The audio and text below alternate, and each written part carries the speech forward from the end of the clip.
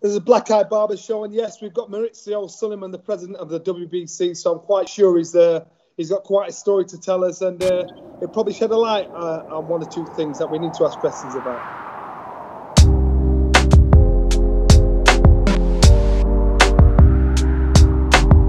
So Mauricio, I've been watching a while ago. You set up your WBC walks. How did that all start? Trying to get fit again and moving again. With the with the workout, you mean? Yeah, yeah. Yeah, yeah. It's uh, we we created the WBC workout to get uh, people uh, to move at home, stay at home, and, and exercise, and to get champions and fans interacting. So it's been very, very nice, very fun.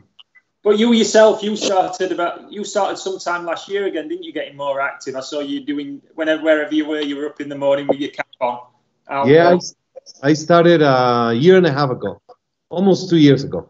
You look like you've lost a little bit of weight. Uh, I was yes. going to say the same. Near your fighting weight. Yes, I'm ready. Johnny, about, you've just got to number one ranking cruiserweight now, saying it looks like he's lost weight. You're okay.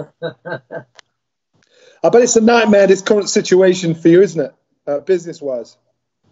Well, it's it's for everyone. I mean, every single aspect of life and the economics is tragic. What we are trying to do is just stay busy, look at this at short period of time instead of going, you know, if you think ahead, you get very much uh, frustrated and even panic goes into you. So We'll go every every 15 days. We evaluate what is happening. Yeah. You've got a cool, you've got a coolness about you. Remind me of your dad, actually. Uh, very cool when it comes to the pressures of life. How much fun have you had with the uh, the British fans over the Dillian Whyte uh, saga? It's been it's been tough. You know, some British fans are very aggressive, but that's the passion of the sport. So I respect that, and it's great to see the passion. Great to see a, a supporter try to fight for his uh, hero. I'm a sports fan, yeah. and I see something that I don't like. Uh, I mean, I don't go out and and do those things, but I, I appreciate people getting anxious and getting upset. But as long as we do the right thing, and and it's not easy, you know, you you cannot just please every single situation because there are many different uh, aspects of it. It, it, got, I mean, some of British fans at some time, Mauricio, oh, you know, look, as we all know, not just in boxing, whether it's soccer, boxing, table tennis, anything. they kind of just, once they get, it's like a dog with a bone, once they start, they don't stop. Did it ever get to this position where you were just getting a bit too fed up of it? It was just too much? Because some of the stuff, it just, it, it just like kind of built and built and built into it. You know, we are not in a popularity contest. Yeah. So you have to understand that there are decisions that do not please every single party. You know, I, I make, for example, I make a tweet of my of my daughter or something very positive, nice, personal, and there you get give Dillian Whyte the, the every single comment, but it's okay. Uh, that's my that's one of my. What, what, what what is the major issue there? Because because we hear he's 600 days, 900 days, a thousand days. What is, what is the major issue there? Is, is it is it just the politics of our sport? No, no.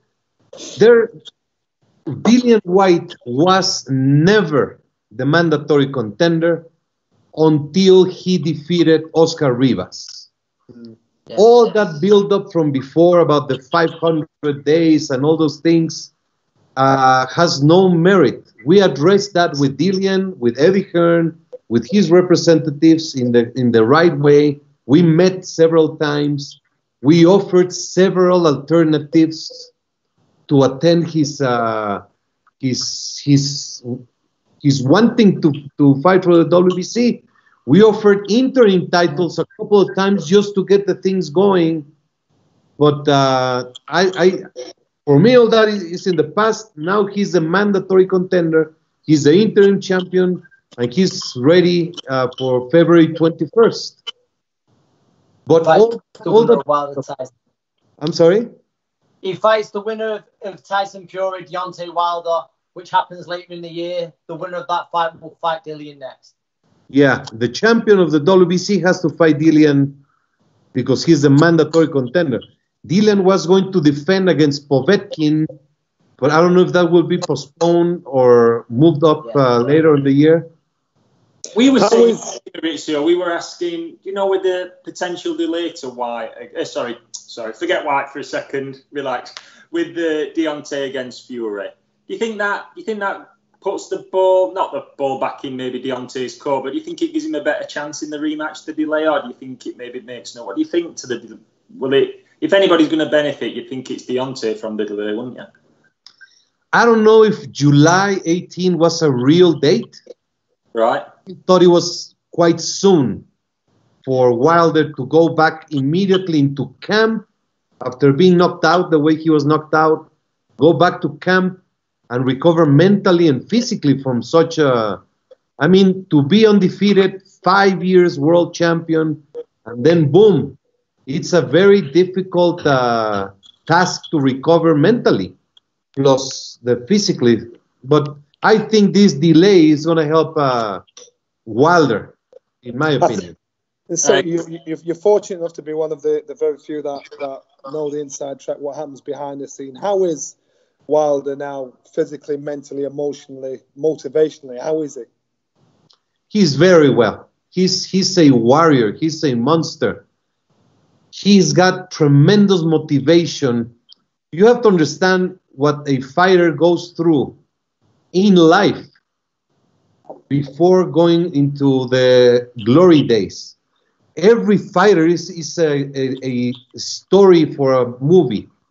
What Wilder went through with his daughter, uh, there's so many uh, days that he didn't know if he was going to be able to provide medicine and food for her, to have lost his mother and see his father crying. I mean, all these things are very powerful, and th- that creates a very strong character for every boxer.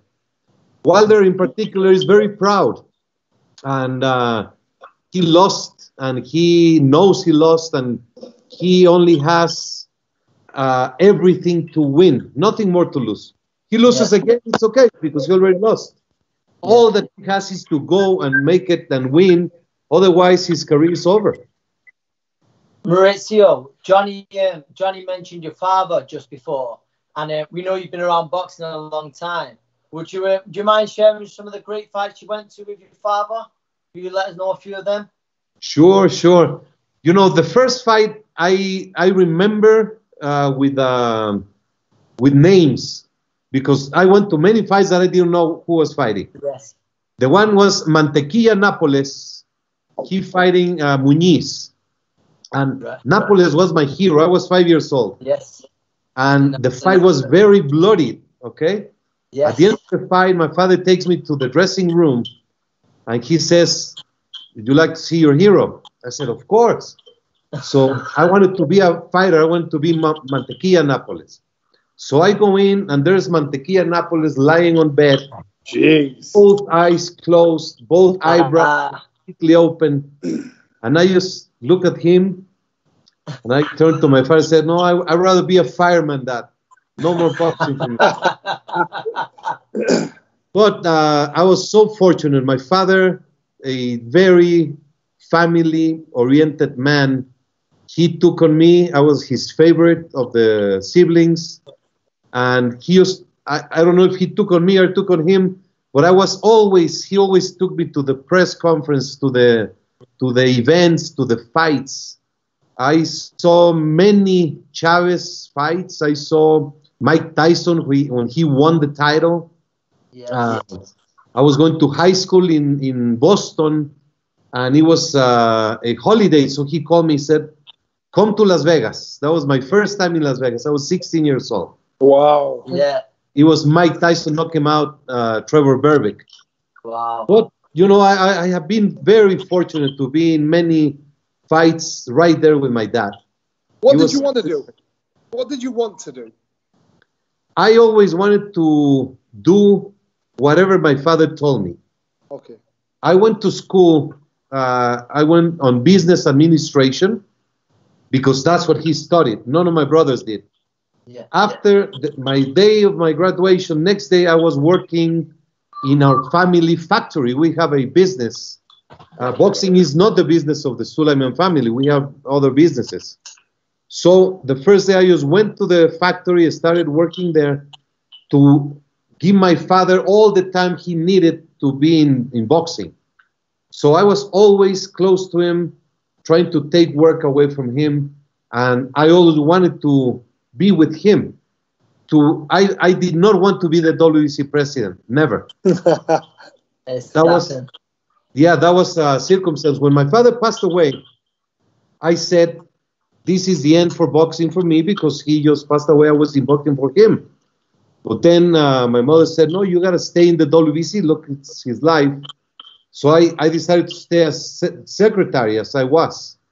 And then the WBC had the meeting for elections, and they just nominated me and appointed me as a president.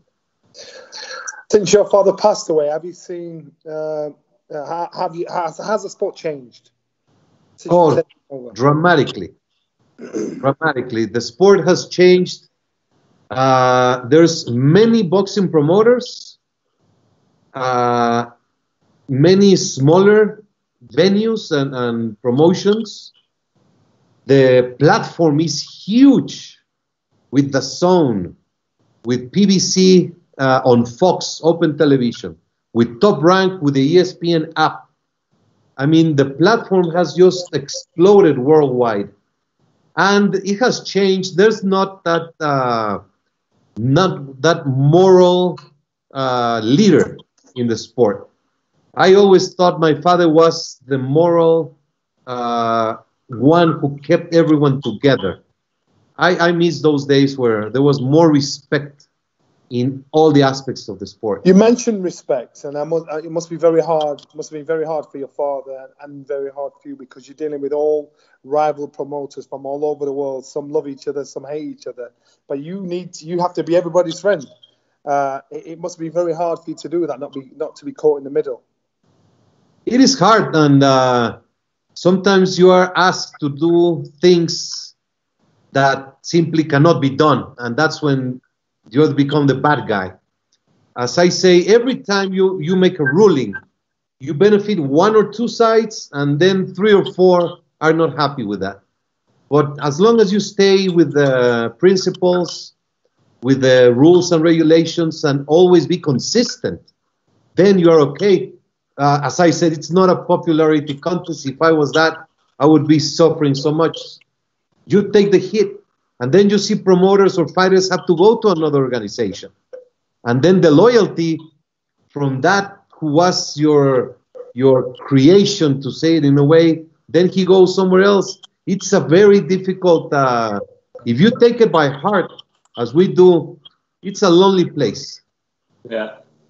Mauricio, do you have, do you know now? I'm sure you're proud of all the WBC champions. Is there a WBC champion right now whose fights you look forward to the most? Who's, who's your current favourite champion from the WBC to watch as a fighter? Not as a person, but to watch as a fighter. Who excites you? you know, truly, uh, you feel so proud of every single fighter, and I, I, this is genuine. It's not uh, invented. I look forward for the success of the champion, and also I look forward for the challengers Yes. who are eager to get to that point. Uh, I used to, I learned from my father. Uh, it took me a while to understand how you can go into the ring after a fight and be very uh, happy for the winner and then be very sad and empathetic to the loser. Mm. Yeah. You could think it's like uh, hypocrisy, but no. You you know when you see the fighters' dreams, when you really see firsthand at the weigh-in, you see a fighter from Thailand. His dream is to become a champion and to Yes. change his life and change his family and become a hero. And then he loses, it's a tremendous blow. Or he wins, it's a tremendous. Mm. You know, when, when Rungvisai knocked out Chocolatito Gonzalez, Yes. that was, I mean, that's a huge turn from the Yeah. hero of Nicaragua to become a loser and then the hero of Thailand. Yes. It's a very complicated sport as far as uh, um, feelings for, for the athletes. You speak of complications, um, and as we as boxers, we'll understand. We have WBC, WBA, IBF, WBO. In an ideal world, how many titles would you would you like to see? Uh, do, you welcome these different governing bodies? I can only speak for the WBC. That's that's uh, an issue. I have good relationships with uh, the other organizations. Uh, the ideal world will never exist. I mean, a fight fan would like to have one world champion. That's it. But then tomorrow, a new organization will be created. Mm.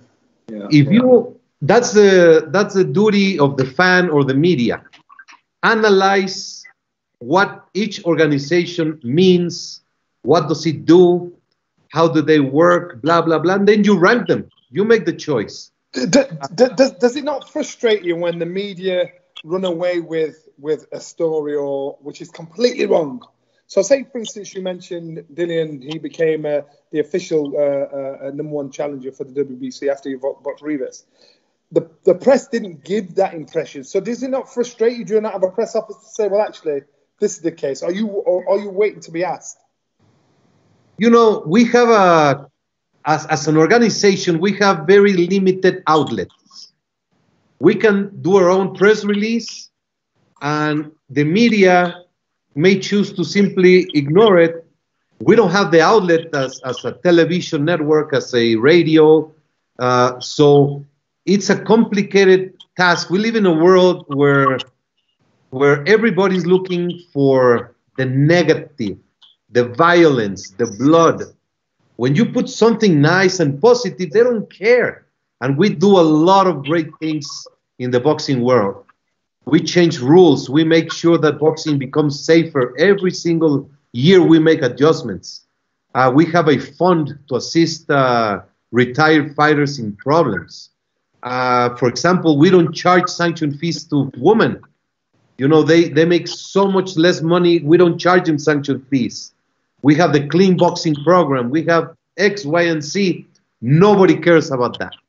But You, you, you, mentioned that. What do you think of the criticism uh, uh, uh, of him publicly? You, you publicly uh, announcing the suspension of, of doping controls. What do you, what do you think the, uh, the criticism you get from that?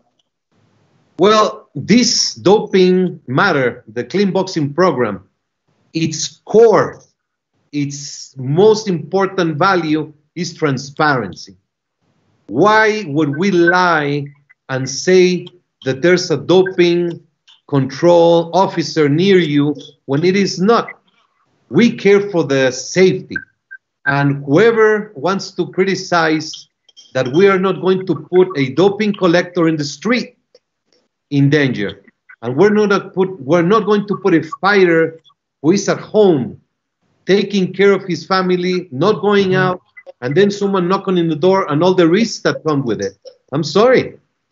Why would I lie and say there's, there's a clean boxing program going on when you cannot even leave your house? Mm. Uh, I think we had something. We had something similar in the UK, Mauricio. About I think about a week or ten days before you name, made your announcement.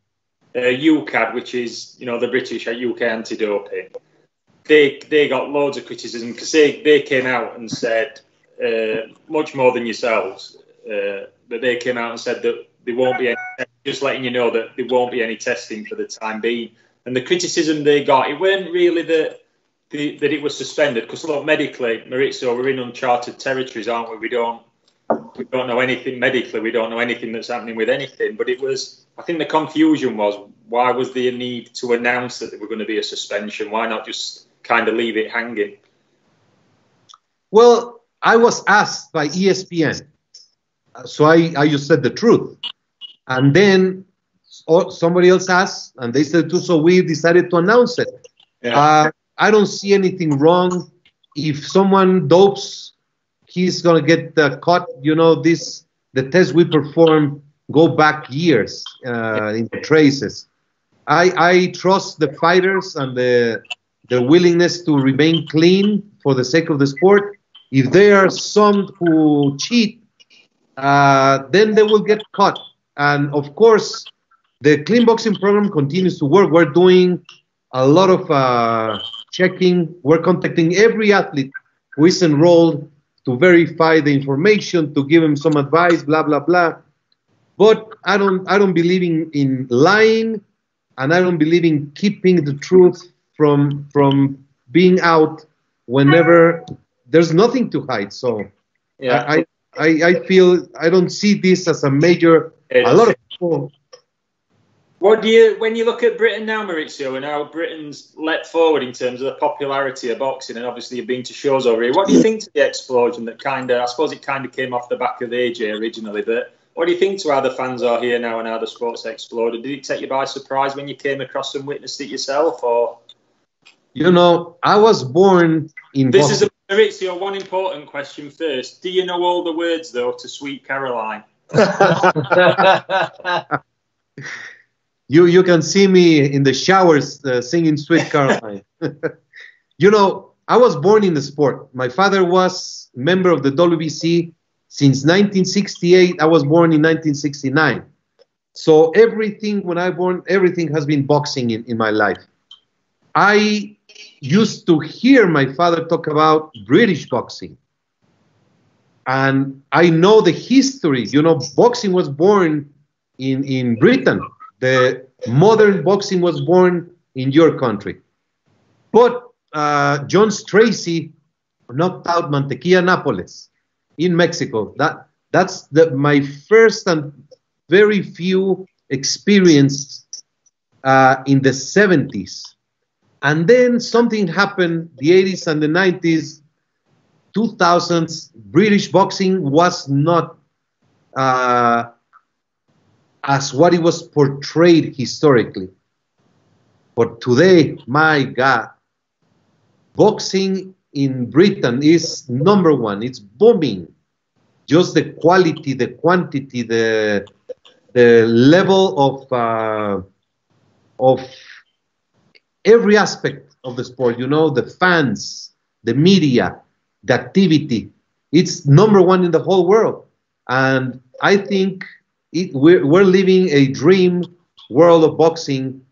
This happening, and it will not go away. I'm, I'm certain that British boxing is ruling the world, and and I'm very happy for it. Yeah, we hope so. We hope it continues. I was talking a while ago. I was talking to Jimmy Lennon Mauricio, and, and he was saying about the times, you know, traveling around with his dad going to shows, and he says um, they were just the most special of times to be able to be with a parent, not just working, but just the time traveling, the time together, the time in hotels. It's, it must be similar to what you experienced with your father. Yes, you know, it's it's such a double side of the each story.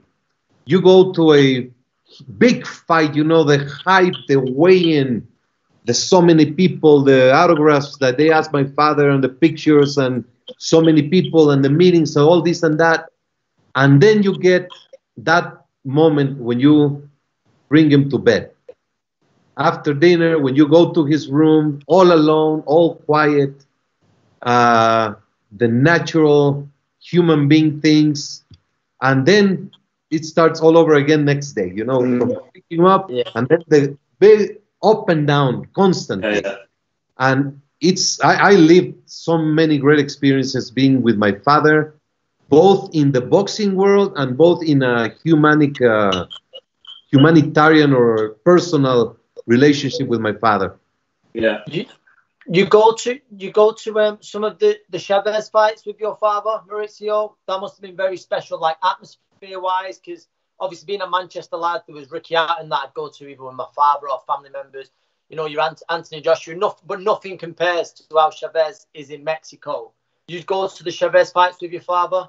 Many, many, many Chavez fights. Uh, that was a great era for for boxing, for Mexican, uh, for the country, for boxing overall. you know, Chavez, uh, he fought 37 world title fights.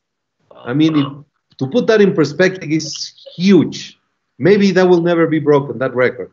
Yeah. Uh, he filled the Aztec Stadium, 136,000. He was undefeated. He lost on the 90th fight. So for a long period of time, 14 years, he was undefeated, and nobody thought he would ever lose. He was just a monster in the ring, and it was a great time for the sport. You know? As, a, as an ex, What was it? Sunset, John. What was it like being in an arena, Mauricio, with that many people for a fight? What was the That's atmosphere what I'm to, thinking. be, to actually be sat there in it? What was the crowd like? It must have been bananas. I mean, the atmosphere, the the, the Right. chants, people, everyone uh, uh, chanting Chavez, Chavez, and uh, every punch, everywhere it would ex- explode. It was, it was very, very special. I, I look at all the belts behind you and I'm mesmerized. I think it's the only belt I ever, ever really wanted as a fighter. But the one that, that gets my attention more than any is the one at the bottom, the, the, the Jack Johnson replica uh, heavyweight belt. That's that's one belt I'd I'd love to just just get in my hands, the original. Uh, are the heavyweights uh, at the center of the boxing world all over again? Are we are are the heavyweights there again? Are they the ones that the main players now? Absolutely. Heavyweight boxing is back after a 20 year layover. You know, when Lennox Lewis uh, retired as champion, uh, we have had a void. The Klitschko's were great fighters, uh, but they did not capture the world attention. And they could not fight each other because they're brothers. So that created a, a, a, a distance. Today, everybody's talking about the heavyweights. Fury, Joshua, Wilder, Ortiz, Povetkin. Uh, there's so many challenges coming up that will make uh, en- entertaining and, and challenges, real challenges. What, what, what do you think the explosion has be? Because at one point, uh, the, the heavyweight division, yeah, it went really quiet. The Klitschko brothers were, were, were head honchos, but we were told that there was so much choice for sport in America. That's why America are no longer producing the fighters they were. You had basketball, American football, baseball, and so so so potential champions, potential fighters drifted away. Now all of a sudden, the Americans are now producing again. Now they're, they're, they're producing Eastern European, but uh, are producing unbelievable heavyweights. Uh, the whole world has, has, has, has exploded. Well, you you you made a perfect uh, explanation. The so many other choices of sports made the United States shrink in boxing, and that era of uh, Tyson, Holyfield, Lennox Lewis, Riddick Bowe, that was the last uh, generation of great American heavyweights. But now it's coming back, and I truly believe uh, that the platforms, the promotions.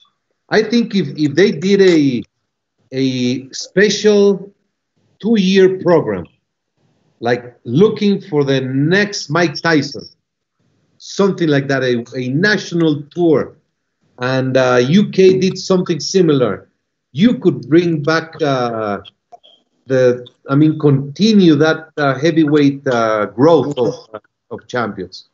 Mauricio, do you think, because we're always looking for the next big stars in boxing, and historically a lot of times they come from the Olympics, do you think it's a bit of a blow that the Olympics back a year? Well, it's it's of course it's a big big blow for the world. So many athletes who had already qualified for the Olympics, but it would not be fair. I mean, everybody uh, is not training at the level that they should be training for an Olympic competition. So it is fair and just going back one year, we'll see what happens. Regarding boxing, I'm very concerned with the sport in the amateur uh, side. You know, uh, to think that professional fighters can compete in the Olympics is such an, uh, uh, horrible, complicated, and dangerous situation. I, I agree. I think we all agree with that. Yeah. And especially, you know, in professional boxing, if you are a four round fighter, you fight against a four round fighter. You don't see a four rounder against a 10 rounder Yeah. And here they have opened up that there's no uh, difference between a four rounder or Tyson Fury or, or uh, Canelo Alvarez. I mean, any fighter would, can go and, and participate against, there's no level of competition. It's very dangerous. How do, you, how do you think that situation, how do you think they've ended up with that situation, Mauricio, where, like you said, look, I'm not saying he would, but Alvarez, for an example, could say, do you know what? I always, I want an Olympic gold medal. I really want an Olympic gold. I'm going to go and re-enter Olympics. I, I, have they ended up the IOC in this situation where that can be allowed? Well, they ended up. It's it's a problem of AIBA, the federation who was in charge of boxing for the amateurs, became very corrupt, became very business oriented. They created profession, semi-professional and professional within the organization and they were signing the fighters to be managers and, and gain money from the fighters. And that came, it was a 12 year period, the lowest, and that's why they got expelled by the IOC. They're not recognized anymore. The problem is the IOC said, okay, we have the Olympics, we will keep boxing, but we will not touch the rules. We cannot get into that, we will not modify. Mm-hmm. That's why uh, that was still in place hopefully they will revise it for 21 and, and take it away and leave it for the amateur fighters.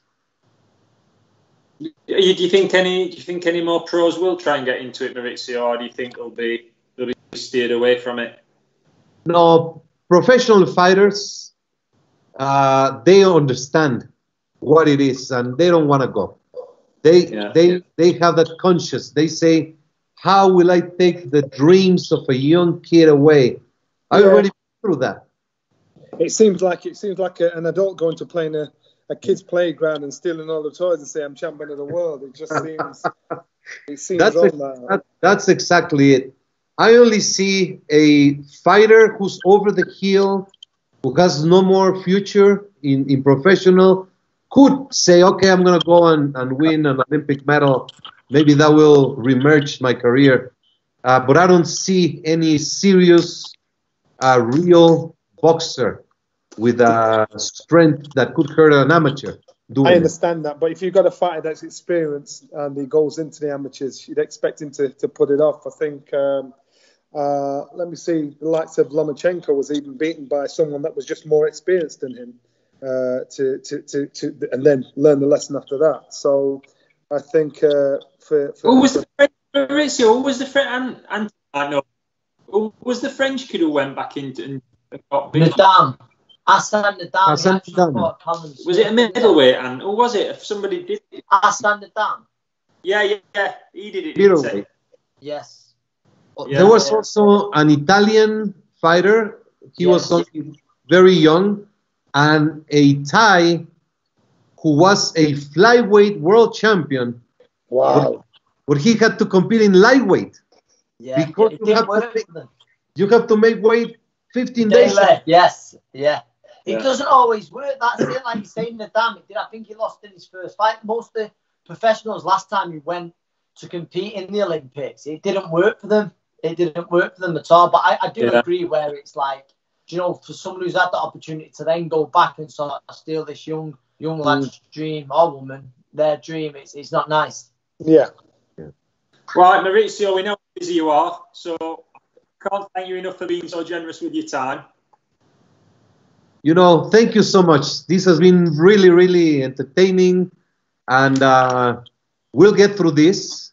Uh, we'll remember these times when we are old. We will look back and see what humanity went through, and uh, let's just keep active. That's the key. Stay active. Keep your mind active.